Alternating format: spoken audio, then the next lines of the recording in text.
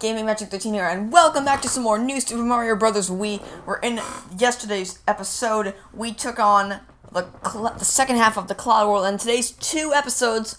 Probably wondering why we're releasing two episodes today, huh? Well, because I want to get both worlds 8 and 9. Yes, there's a world 9. Pretty sure you all know that by now. Done this week.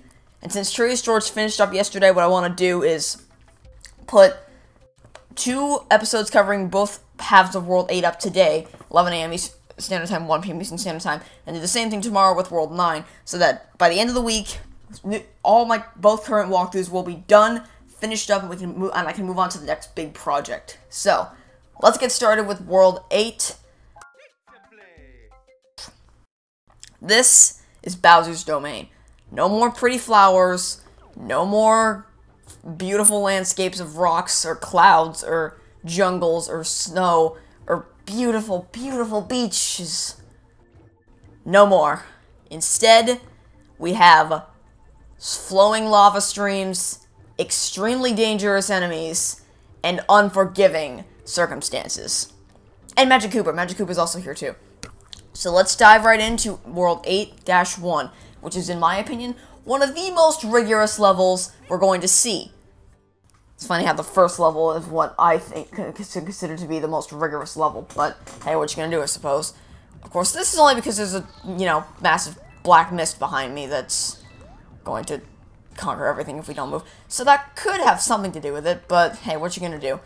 The first star coin is relatively easy to get, but that doesn't mean numbers 2 and 3 are as well. Another thing that's also really cool to see for the Wii especially, just look at the details on that, is that there's asteroids falling from the sky. Or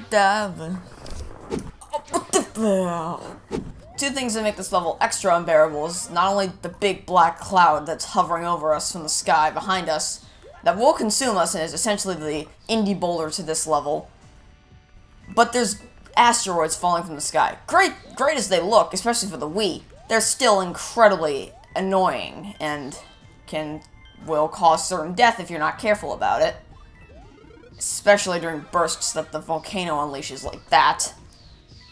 They still, they do look cool, they're just, you know, very annoying, which I've said many times. And there's that black cloud that's gonna loom over us.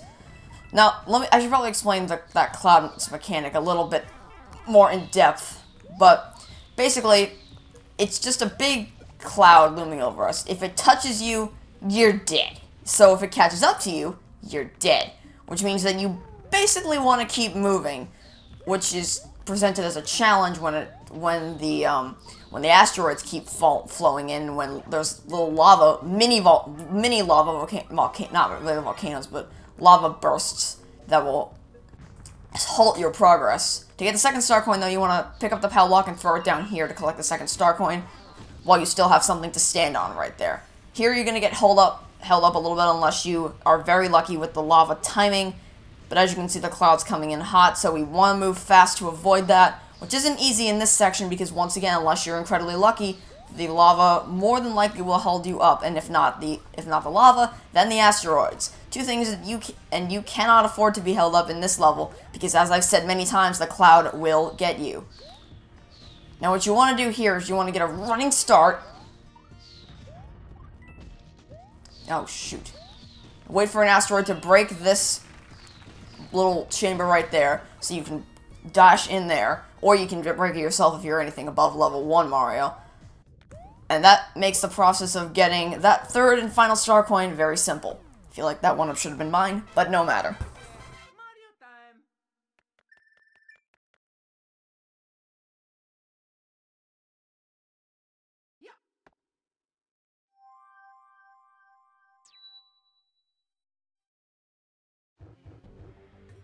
Now, I actually thoroughly enjoy this next bit. This next level is actually kind of one of my favorites. Of the world, that is. But it's still a little bit of a challenge. But then again, I like a challenge. That doesn't mean I like World 7 Dash Tower as a challenge, but I still do like a challenge. And the thing about this level is that it takes place entirely underground, which means there's no more asteroids falling from the sky which gets rid of that element of... Wait, is there something above this? I forget. No, there is not. gets rid of that danger element. But there are still a few danger elements to worry about. Although Paragoombas aren't all that... I was about to say about how Paragoombas aren't all that big of a deal, and then I got hit by them. Spikes are a big deal. Spikes are rolling across these wheels, and they can be a big deal sometimes. Big Goomba's not that big a deal. Spikes, big deal. Now, there's that first star coin, but I recommend waiting until that big one passes so that it can't can't interfere with you getting the fire flower that's in that um, little box in the in the item box right there. Flubbed my words a little bit. Anyway, the next star coin. Actually, let's get the red ring riches before we worry about the next star coin. Now, this level actually has a secret exit, and obviously, since we're in the last official world, there there's no cannon that the secret exit can lead to. But it does lead, similar to what it did in World 7, to a new level or a, not a secret level, but a, a, different level that can't be accessed normally. Anyway, Star Coin number 2 is located right there. I recommend waiting until the, you find a gap in the Goomba passing so that you don't have that big of a problem getting it. There's a nice flower up there, which could actually be very beneficial in future levels when you have to deal with the, the constant stream of fire. Something that, but the secret exit is actually right down here, and along with that is the third star coin. Secret exit's down here. We're gonna get that first. The third star coin's all the way at the end of the level, but in the upper roof, so I'm just gonna sit here and harvest all the, oh wait, was that all the coins? Oh, right, because it just makes everything fall that's on screen, but, oh, there aren't still coins, oh, right, because we're at the end, never mind. So those are all the coins you could collect, but we're not gonna get the third star coin now since the secret exit's right here, and it's easy to get through the level again. The secret eh, the secret exit will lead you to my second favorite level in the in the lava world, which is a roller coaster level. But we're not going to do that yet because it's 8-7. I know you're going to say, I know the comments will be like, oh, but you did 7-6. Because I hate that level, so I got it over with as soon as the episode started. There's 8-7 right there. We're not going to go to that just yet. We're going to play through the level again to get the third, the sec, get the third star coin and the standard exit. Moving past the entrance to the secret exit, it's pretty easy to get the third star coin. It's just right in here. However, you wouldn't think you, you your instinct is to jump up here immediately because there's also a giant spike that comes out of where the third star coin is, and it's gonna roll right back in there. So I would, and yet the spike hits an imaginary wall that we can. Oh right, because it can't fit through there. Ah. At least Nintendo provided some explanation as to why the spike can't keep rolling through the third star coin. and now, we get to do probably one of my least favorite levels in the entirety of World 8. Also, I love that little animation where Mario takes his cap off, does the motion to take his cap off, but there's nothing to take off, so I always love that.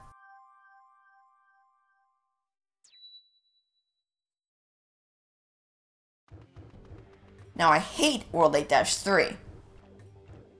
Hate it. Because of one thing. Lava tidal waves. Or not really tidal waves, but just constant stream of lava flowing through at periodic bursts make this level a nightmare to do.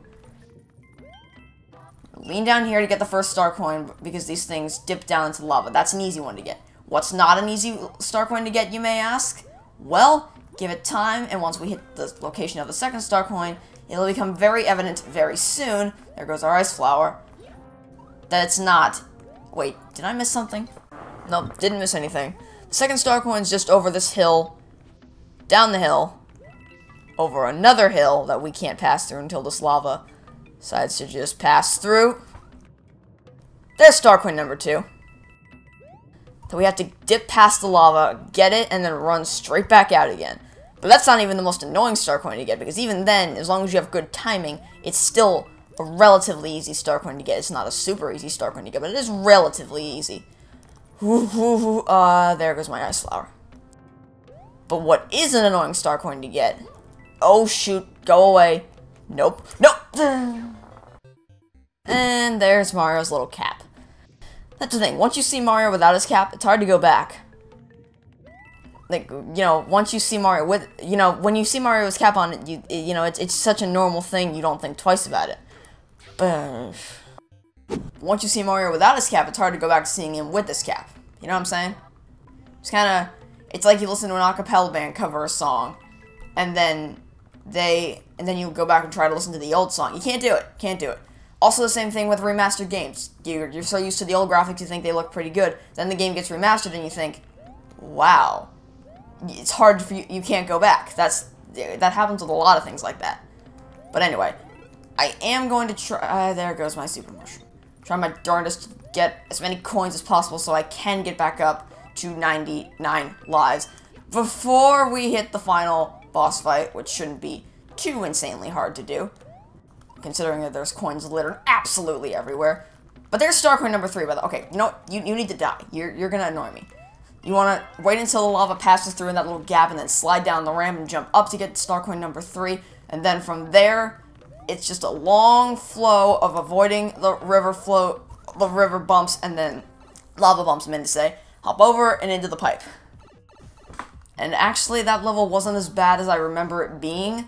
And I seem to be saying that a lot with a lot of games. Oh, no one up.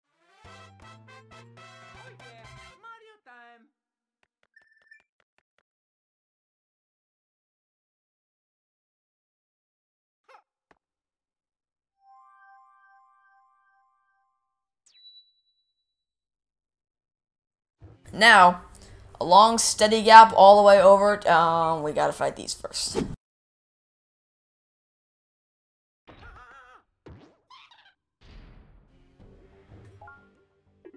Good thing we got those mushrooms.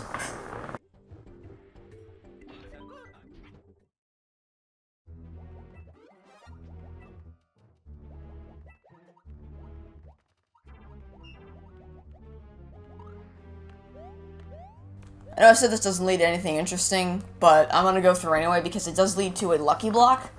And I'm gonna try and get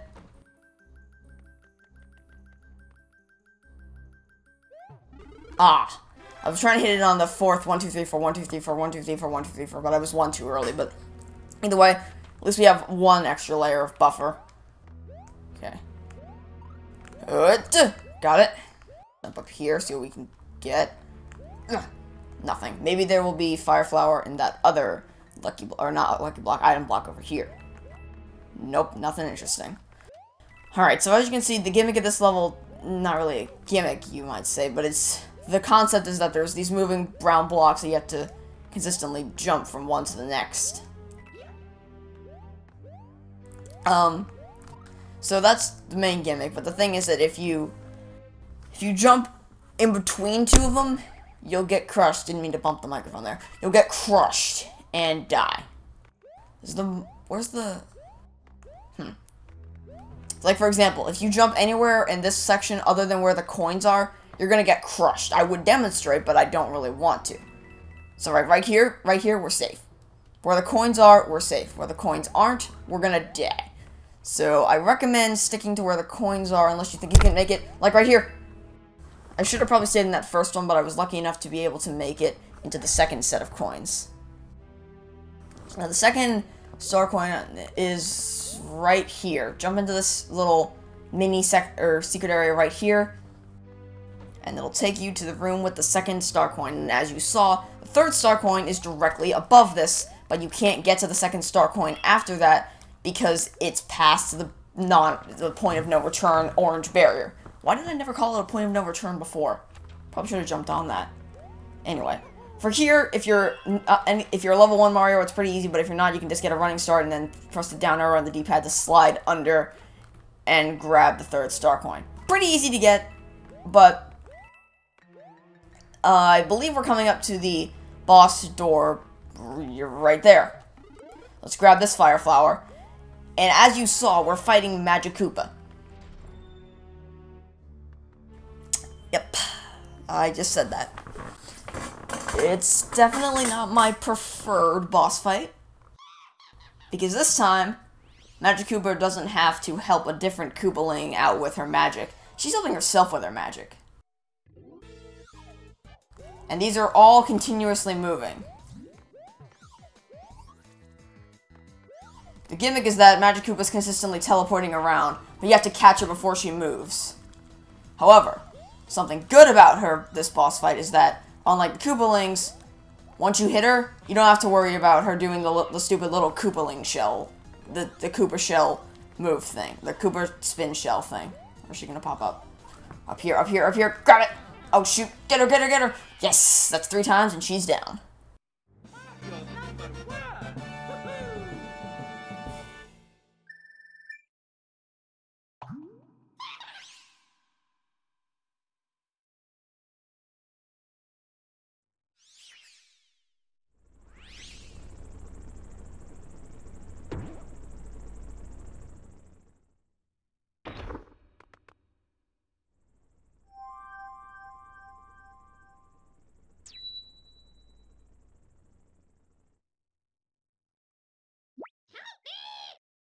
Oh my god, Toad, why must you why must you consistently insist on being worthless?